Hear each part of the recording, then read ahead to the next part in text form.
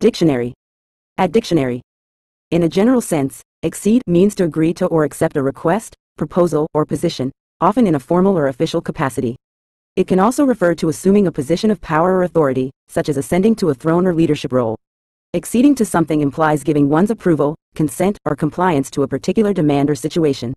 This term is commonly used in diplomatic and political contexts when nations or leaders agree to a treaty, agreement, or international obligation, as well as in everyday situations when individuals agree to requests or accept responsibilities.